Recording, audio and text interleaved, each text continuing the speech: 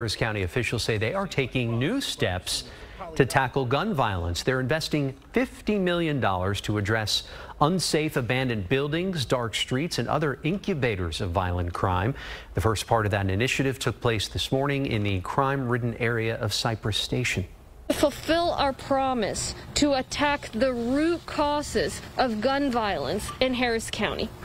We know that you can't just be tough on crime. You gotta be tough on crime, but you also have to be smart. And part of that involves addressing blight in communities like these. The fire that burned this apartment complex two years ago created more than just an eyesore. It created a place that harbors criminal element, a structure that has incubated drug dealers and other criminal activity. Officials have identified two areas in the county to focus on, Cypress Station and Sunnyside.